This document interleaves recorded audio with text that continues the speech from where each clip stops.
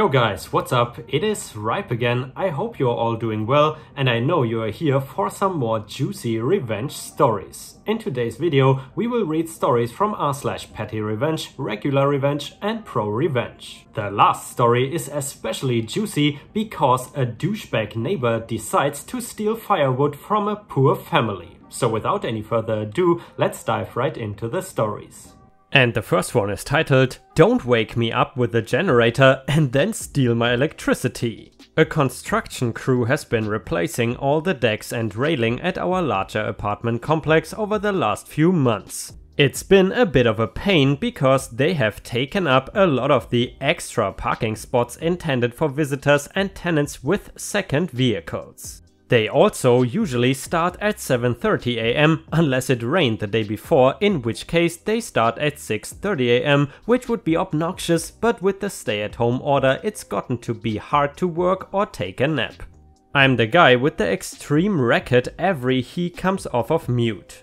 And I gotta admit, I did not understand that sentence. Anyway, being in a rather cantankerous mood after having been woken up for the up 10th time by a generator starting well before my first meeting of the day, I look out the window to see a drill's battery plugged into a socket I know is associated with my apartment. So, without a second thought, I go to my breaker box and turn off the appropriate breaker. I sincerely hope some inconvenience came of it. And guys, I gotta say, this story reminds me of a story that a friend of mine once told me, and I think this one really fits the story. So, my friend in the past, he lived in a house where the landlord was building an RV storage garage onto the back of the house. So, he worked a bunch of different shifts, and one of which was 10 pm to 6 am, which by the way was absolutely soul crushing. So, they would start working around 7 am every morning. The problem was that he, my friend,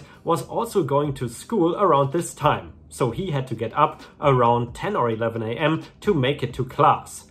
The problem was that the guys building the garage were using the power from his house. They would basically overload the circuit causing the breaker to trip, causing his alarm clock to turn off. So they would reset the breaker, but the time on his alarm clock would be off, so he would not wake up for class in time. Basically, he had to get angry with the landlord before he finally got those guys to stop using his electricities. And suffice to say, those were difficult times for him.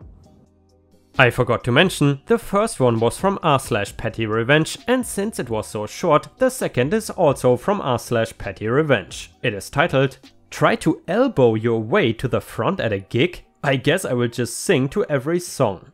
This was a few years ago in Spain. I just happened to find out that one of my favorite bands were playing a gig on the other side of the country from where I was living.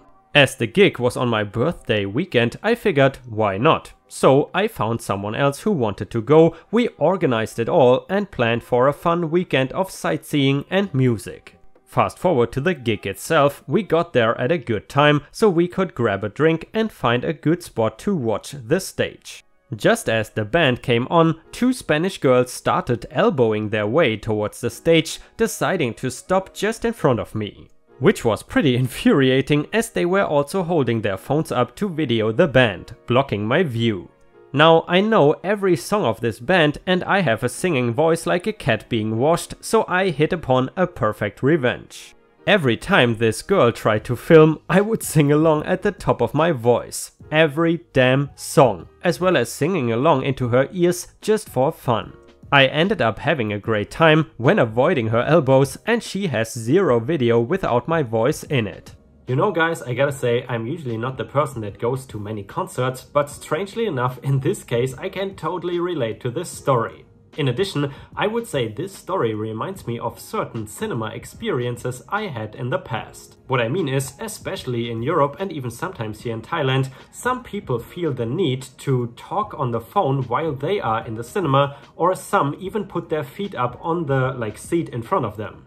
By the way, fun little fact that you probably did not know about Thailand, if you go to the cinema here, they have like a little propaganda movie about the king and while this little propaganda movie plays before the movie, everybody has to stand up. If you don't stand up, I think you would get in trouble.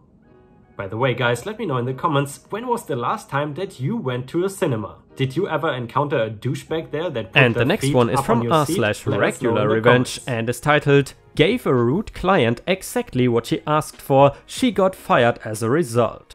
I work at a software company where we have long-term relationships with a small number of client companies. Recently, a new person started working at one of our client companies and called to report a software bug that was not actually a bug. This happens a lot because the software is huge and complicated and needs a lot of regular configuration changes. Usually we can just explain the issue to the customer and they are good. Not this woman though, she was rude to my coworker and told him that he had no idea what he was talking about. Then she yelled at my boss and insisted on talking to my boss's boss about the issue when my boss would not give in and fix the bug. I've never seen anything like this in my 5 years with the company, she continued complaining up the chain until it hit the company owner. Per the owner, we gave in and made the change she wanted. It was a time consuming fix that no one wanted to do, but they are our customers so we had to give in. Plus, the issue was primarily cosmetic, so it was unlikely any other customers would complain. A few weeks later, we presented the updated software patch to the customer's other employees, as they will need to apply it. The customers absolutely freak out. They ignored all their emails and apparently failed to realize that we had given into the woman's demands even though we made her boss sign off on it. They refused to take the patch. Now the customer has some options, they can pay us above our usual rate to back out the change or they can apply it and deal with the change. Our patches are cumulative, and please correct me if I pronounce that incorrectly, so they cannot get around it by skipping one. We are not making any more changes like this for our usual rate. We are still waiting on their decision, but when sending another email this week, my boss noticed that the irate woman's email bounced. My boss asked in the weekly conference call if the woman's email address had changed. There was utter silence for 10 seconds and then the woman's boss said that she was no longer with the company. They all seemed a little embarrassed about the whole thing. Malicious compliance works. And guys, to be honest, after hearing stories like this, I just cannot imagine working a job like tech support. Me personally, I'm pretty good with IT, but I can just not imagine dealing with such entitled people on a daily basis. Please let me know in the comments, have any of you ever worked in a call center and maybe even tech support? Let us know your experiences with entitled people in the comments. And you know, that reminds me, someone should actually do a ranking list about the jobs where you have to deal with the most entitled people. And I suppose a call center job would be pretty high up on the list. And furthermore, if you have watched until here, please don't forget to post some star emojis in the comments and also like the video if you want to support me. Thank you very much. And the next one is titled Neighbor's living room exploded for stealing firewood. This is a story about my neighbors and was relayed to me through my dad since I was too young to remember any of it. In the early 90s, my family lived in a lower middle class neighborhood. Our neighbors were very poor with about 5 kids, but extremely nice. They could not afford heating to be installed in their house, so they relied on using firewood the father got from some of his friends at work during the winter. Winter came and their father started using the firewood. After a few weeks of freezing temperatures, he started to notice that every night some of his firewood would go missing. Now, we had these other neighbors who were not the greatest, and by that I mean they were complete a-holes. They had frequent police visits for noise violations and god knows what else. They let their kids throw rocks at passing cars and they were pretty well known for having stolen from other neighbors in the past. So back to the family having their firewood stolen. After about a week of firewood going missing, the father went over to the a-hole house and asked if they had been taking the firewood. They denied it and seeing as there was not anything the father could do about it legally, he came up with a plan. He found the nicest piece of wood he could find, drilled a hole in it, filled it with those quarter stick of dynamite fireworks from earlier that year, glued the hole shut and placed the piece of wood at the top of his wood pile. Surely enough, the piece of wood was gone the next day. About a week later, the neighborhood was woken up by a big bang and the a-hole kids running out of the house exclaiming, Our fireplace just exploded! Luckily, no one was injured. My dad tells me that when he looked outside, the a-hole neighbors had what he describes as a Looney Tune-ish hole in their chimney with soot all over their lawn and presumably their family room. And guys, I gotta say, that is a pretty genius way of pro-revenge, and if you ask me, that a-hole family totally deserved it. Honestly, I don't even follow these guys' lines of thinking. I mean, if you see a poor family, why would you steal their firewood? If it was me, I would have probably given them firewood instead. And by the way, guys, I'm curious, you can let us know in the comments, what was the harshest slash coldest winter that you have ever experienced? Personally, for me, when I look back to around maybe 2003, 2002, we probably had winters where it was around minus maybe 8 degrees, minus 10 degrees, and that was already pretty damn cold. But I know some of you guys come from parts of the US where it gets really, really damn cold. So let us know in the comments what was your worst winter. And the last one is from r slash pro revenge and is titled Noisy Resort Neighbor Gets His Secret Spilled. Happened a few days ago, throwaway for obvious reasons. My wife and I decided to go to Southern California for the holidays. We found ourselves a nice resort and checked in. All was well until we noticed that the walls in our room were very thin. As we entered our room, we could hear our next door neighbor talking and having an argument with his girlfriend. We shared one common wall with them, they were shouting pretty loud and we could hear everything through the wall. We will refer to this guy as noisy neighbor NN. And NN kept fighting with his girlfriend about something she said earlier. We did not follow, were not interested and decided to go eat and explore around the town we were in. We came back around 10 at night and all was quiet. We figured that NN and his girlfriend already went to bed, so we went to bed as well. Turns out he was out. NN and his girlfriend come back at 12, laughing and really loud. Loud to the point that we could hear them and hear their entire conversation. Looks like they made up after the fighting that morning. We hear the girlfriend say that she is hungry and NN calls for pizza delivery.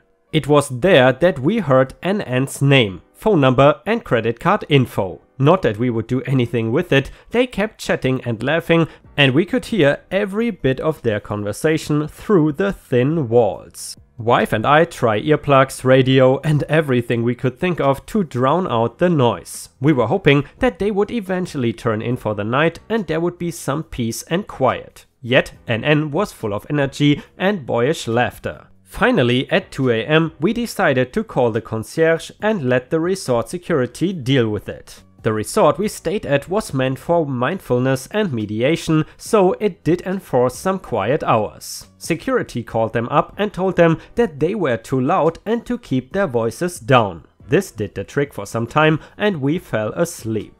Only to be woken up again at around 5am to some really loud intercourse. Like moaning and screaming from the girlfriend, after they were done with their business, they washed up and just kept talking. Laying there in bed, I heard all about NN's job, where he was from, where he grew up, his political views and so on. Finally, at 6 or so, we called up the front desk again. This time security actually came and knocked on their door to tell them to keep their voices down as it was still officially quiet hours. NN and his girlfriend were furious that they could be disturbed when they were just having fun and having a good time. They claimed that they were not loud at all and why can't they just have some fun? They threatened to leave poor reviews for the resort and made sure that all of their friends would hear about this. Security took that all in, gave them their warning and left. After security left, NN and his girlfriend started talking crap about wife and me through the wall knowing that we could hear it. Stuff like, our neighbors are such a-holes, probably racial slur. What's wrong with intercourse with my girlfriend, huh? Too loud for you? And just deliberately talked to his girlfriend in a really loud voice, talking about how great the intercourse was and how she was going to scream and moan louder next time.